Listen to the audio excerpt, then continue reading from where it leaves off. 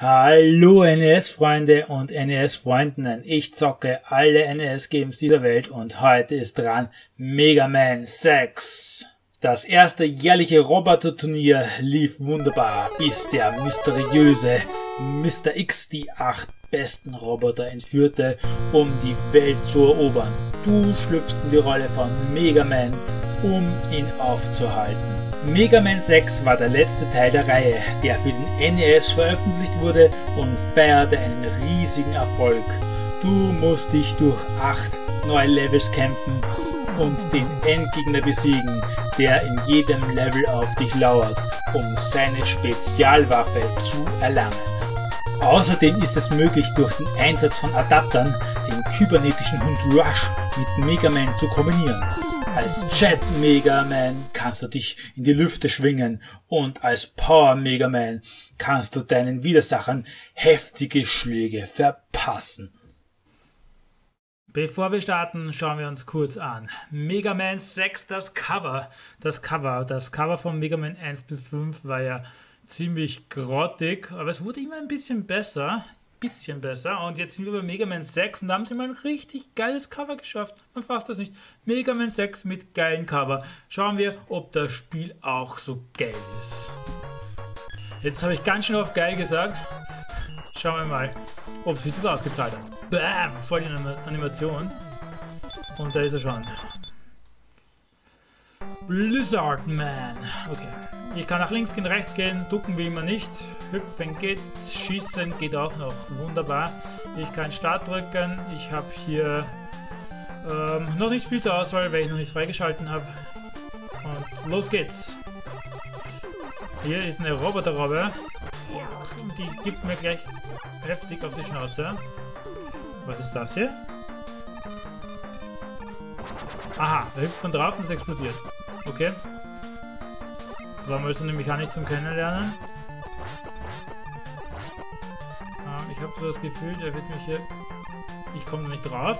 Aber ich kann hier wahrscheinlich einen mit dem Hund schon holen.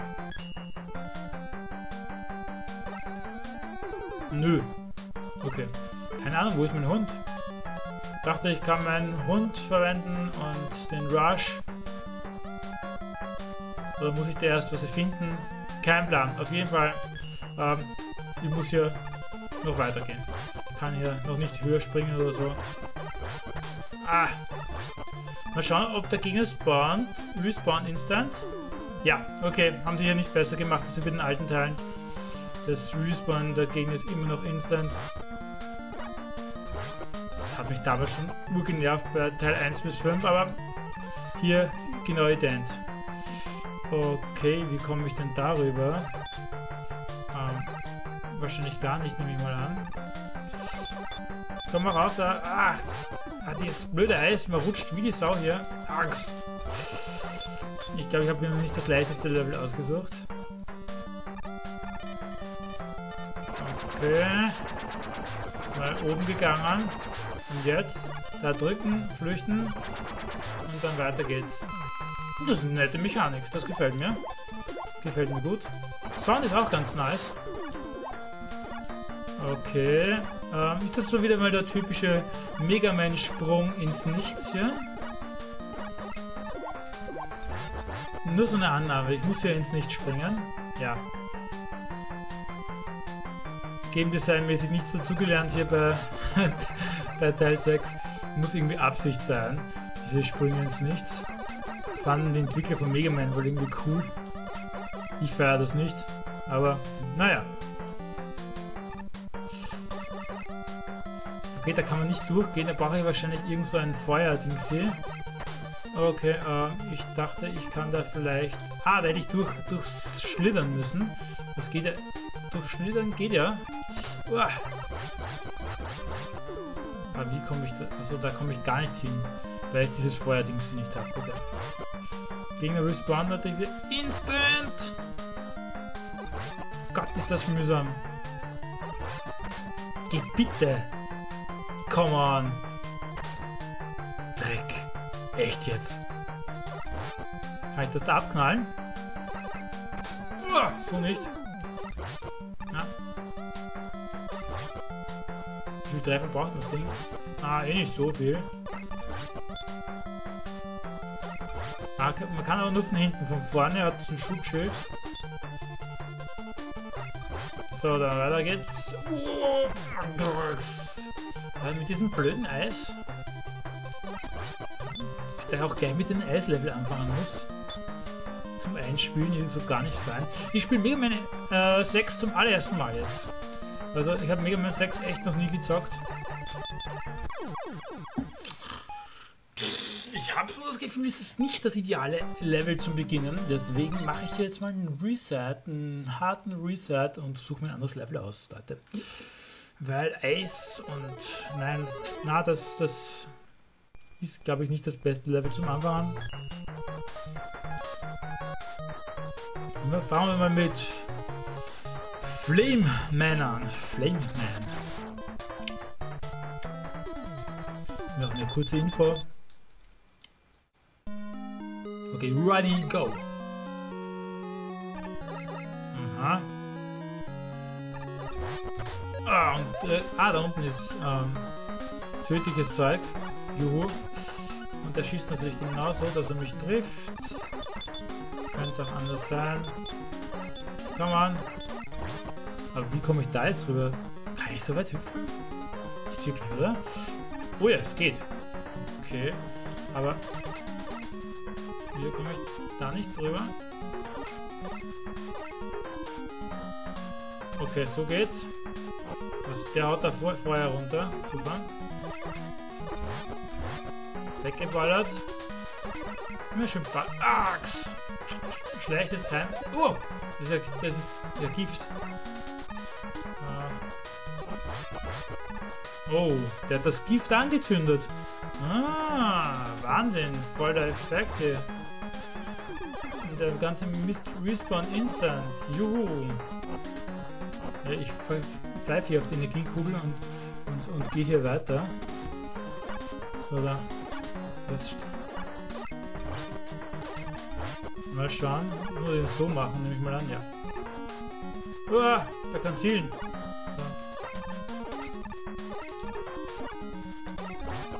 So. Äh, weggeballert den Jungen. Ah, wie geht's weiter? was ist das wieder, ihr wisst ihr? Ah, da schießt so ein Dreck raus. Das kann ich nicht zerstören. Wie, wie soll ich darüber? Wieso hätte ich über das drüber sollen, bitte? Ah! Ui, das Mist, da hätte ich nicht rein dürfen. Und da komme ich nicht mehr raus. Ah, ich, ah, nein, nicht gut. Dreck. Aber, hä? Wie soll denn das gehen? Hä? Da irgendwie... Da ist doch nichts zum... Ich denke, da ist nichts zum draufspringen. Ich check's nicht. Wie geht's denn hier weiter?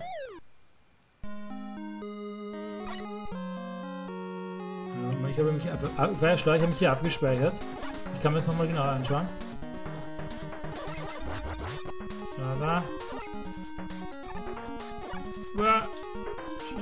Mich ab und dann schieße ich dich ab. Okay. Jetzt mal ganz im Ernst. Wie soll ich darüber kommen? Ohne von dir getroffen zu werden. Ich glaube, es geht gar nicht. Äh, kann ich mir irgendwas aussuchen?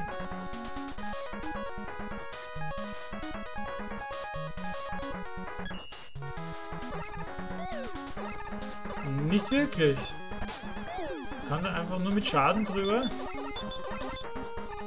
Und Zeug bringt gar nichts. Das kann ich nicht abknallen hier.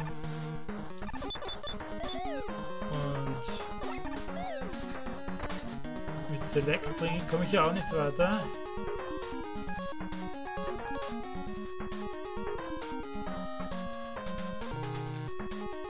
Nope.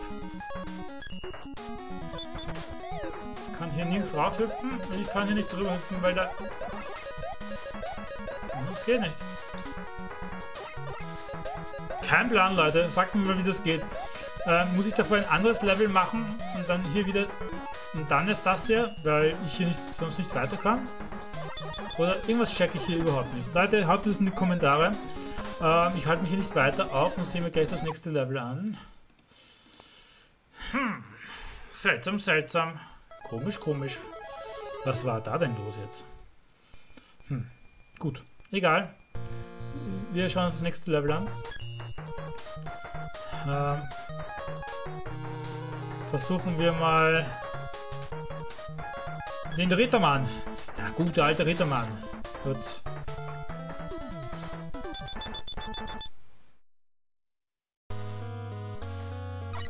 Sehr ritterliches Level. Ja, jetzt den ganz ritterlich fertig machen. Da gleich mal der Sprung ins Nichts anfangen. Ich kann das hier wahrscheinlich nicht zerstören, oder? Nein, natürlich nicht. Die Fähigkeit habe ich nicht. Das ist die richtige Reihenfolge, wie man die Levels macht. Ähm, ja. Die ist wichtig. Reihenfolge ist hier anscheinend wichtig. Komm, komm raus da, du Schurke. Okay. Und jetzt gehe ich weiter. Aha. Bohrer platt gemacht und jetzt kommt das Ding runter hier. Äh, äh hä?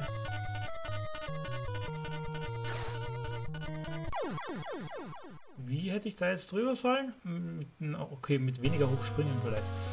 Okay, gleich nochmal, gleich nochmal, gleich nochmal, gleich nochmal. Uah. Vergessen gleich zu schießen. Mist.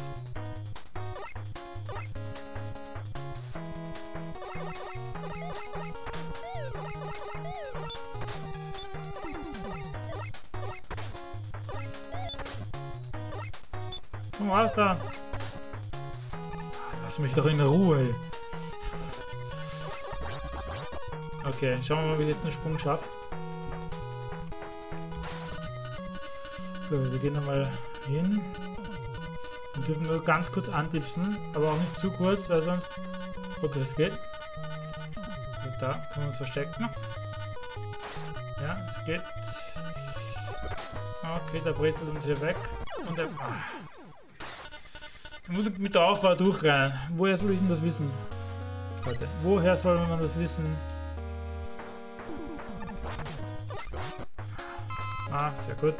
Gleich wieder Energie getankt. Gut, weiter geht's. So, die lassen wir in Ruder. So, viel zu mühsam, Junge. So, ja.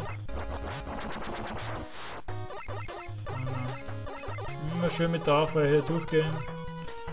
So, jetzt warten wir noch, bis der oben ist hier. Ah, ich bin ein bisschen zu weit vorn gestanden. Blöd. Nicht so gut gemacht. Minus. Komm raus, raus, du Blödmann. Tschüss. Du Blödmann. So. Genug Abstand halten. Das rauf geht. Gleich wieder mit Dauerfeuer weiterlaufen.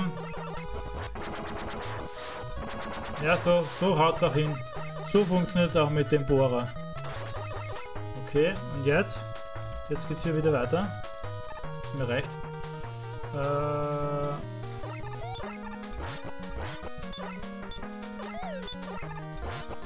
Gut, weggeballert das Ding.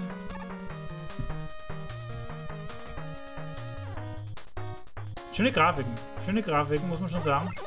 Was bist du für einer? Ich glaube, ich brauche dich, oder? Muss ich auf dich draufhüpfen? Nein! Okay. Ich dachte, du hilfst mir irgendwie. Und ah, ich komme da nicht mehr raus. Ich habe zum Glück abgespeichert. Okay. Der hilft mir nicht. Ich dachte, das ist vielleicht ein Freund. Aber Mega Man hat bekanntlich wenig Freunde, sondern nur Feinde in seinem Spiel. Alles ist immer nur feindlich. So, dann hüpft da oben drüber und sagt, lass mich in Ruhe, lass mich in Ruhe, ich mache jetzt einen Schuh. Okay. Ähm, das so, na, das, das, das geht doch. Äh, jetzt nehmen wir das Rad, das Hilfsmittel. Sehr schön, auch funktioniert. Nur schön ballern beim Gehen. Nicht, dass da wieder instant... Ähm, Axt! Komm an! Komm raus aus deinem Loch da! Tschüss, Junge. Tschüss. Axt.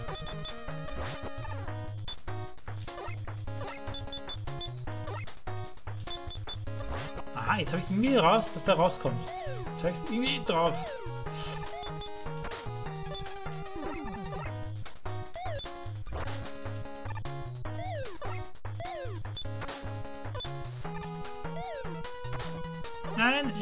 Einfach nur... Na. Mega Man, warum bist du so schwer? Ja, auch Teil 6 ist nicht gerade einfach. Weinen und Leiden mit Mega Man. Eine neue Ausgabe von Weinen mit Mega Man. Ah. Aha, ihn einmal treffe, schaut er raus? Okay. Aha. Axt. Weg. Okay, das hat funktioniert.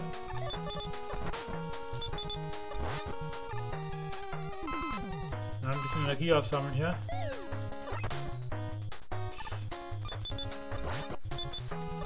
Jupp. Das hat hin. Ja. Bisschen Übung hier. Äh, was bist du? Ah, ich... Hey, danke, Mann. Du bist ein Freund? Ein Freund. Mega Man hat doch Freunde. Ja. In den Spielen kommt es einem manchmal so vor, als würde er nur Feinde haben. Gut, schauen wir weiter. Schöner Hintergrund hier, aber ja, fehlt hier nur noch das Parallax-Scrolling und wir würde glauben, man hat hier ein Super Nintendo-Spiel von der Grafik her, oder? Ist schon ziemlich fein. Also für Super Nintendo-Verhältnisse, holla holla. Das kann schon was. Ähm, Energiecontainer kann ich mir nicht holen. Glaube ich zumindest. Okay, das habe ich weggeballert. Aha, das ist ein Schwert im Hintergrund. Interessant. Und jetzt... Aha. Ist das gut, wenn ich hüpfe oder eher schlecht?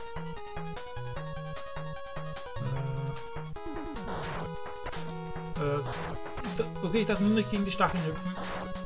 Aber es ist leichter gesagt als getan. Ah, ich bin unfähig. Ich hab's irgendwie überlebt. Voller Energie geht's weiter. Affen rausschauen lassen, Affen rauschen lassen, abwetzen, Affen rauschen lassen, abwetzen. So. So geht das. Affen rauschen lassen und... Na. Axt! Komm on!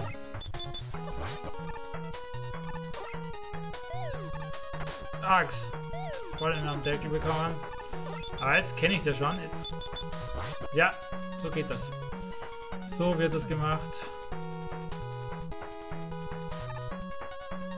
Der kommt nicht nochmal, ist klar.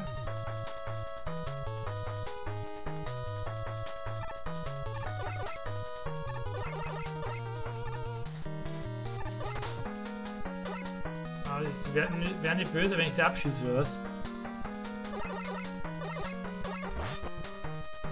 Gut, weggeballert das Zeug hier. Na, jetzt wieder bei der Flipper. Den Flipper mache ich jetzt besser, Leute. Wirklich.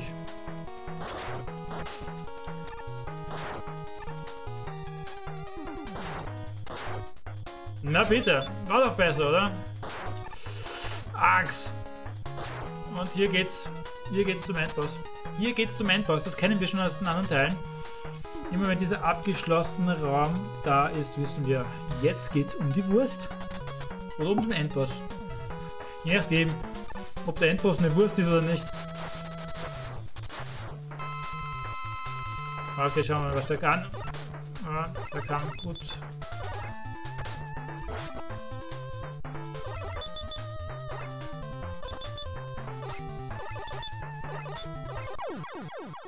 Ich kann so gar nichts. Er macht mich einfach so instant platt. Okay. Ähm, versuchen wir es nochmal.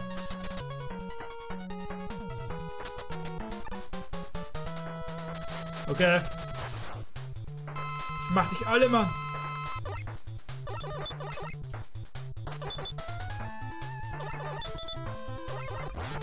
Okay, da hätte ich drüber hüpfen müssen.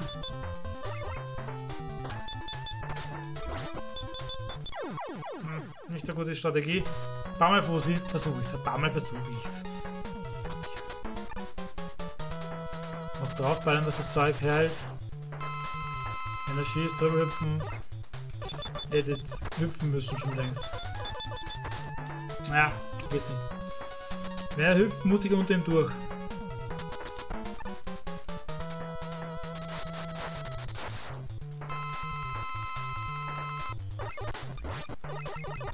Dann bin ich gesprungen, ich Idiot. Sehr gut. Ja. Nicht gut, nicht gut. Ich weiß, kann ich drüber hüpfen auch? Bin mir nicht sicher. Ich gehe mal kurz zurück, schauen was er dann macht, wenn ich zurückgehe. Geh vorhin. Okay, dann hüpft er instant. War es Zufall oder macht das immer so? Wir werden es gleich erfahren.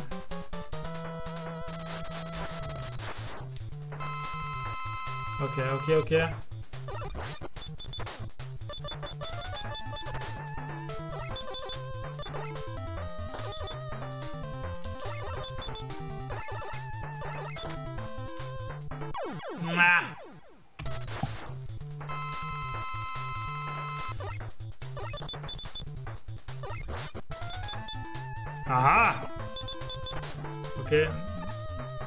So.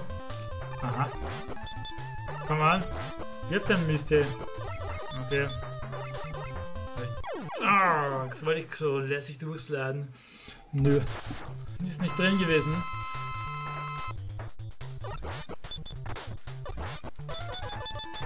Axt! Geh weg von mir! Nochmal! Mach dich platt, Mann! Ich mach dich platt! Nein!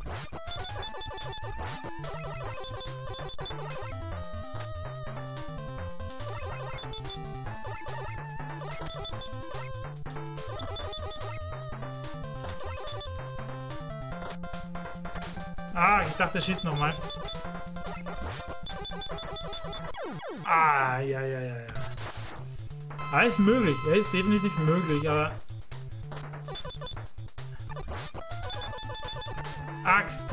Sekunde zu spät gehüpft. Letzter Versuch, letzter Versuch, Leute. Einmal probier's noch. Was? Voll auf die Fresse. Hey, ausgedrückt. Ah, voll auf die Fresse. Aha, ausgedrückt.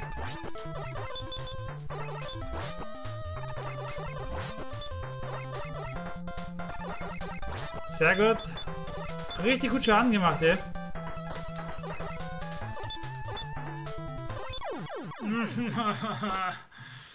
Na, okay, den schaffe ich jetzt auf die Schnelle nicht, will ich mal sagen. Den schaffe ich jetzt auf die Schnelle garantiert nicht. Gut, sagen wir mal, das war's hier mit Mega Man Teil Nummer 6. Jetzt habe ich gezockt Mega Man 1, Mega Man 2, Mega Man 3, Mega Man 4, Mega Man 5 und Mega Man 6. Leute, wenn ihr bei allen Teilen dabei wart, dann haut mir das mal in die Kommentare rein und sagt mir, welcher Teil ist am besten. Ich finde ja, Teil 6 war schon ziemlich cool. War schon ziemlich cool. Fast schon das Highlight der Serie. Obwohl ich den ersten Teil natürlich auch sehr mag. Hm, schwierige Entscheidung. Ich bin gespannt, was ihr mir in die Kommentare schreibt. Ähm, ansonsten sage ich danke fürs Zuschauen, Leute. Danke, danke, danke. Ähm, Daumen hoch, da freue ich mich. Und natürlich abonnieren, falls ihr es nicht schon längst getan habt. Jede Menge NES-Games gibt es hier zum Sehen. Ciao, ciao, Leute, und bis bald.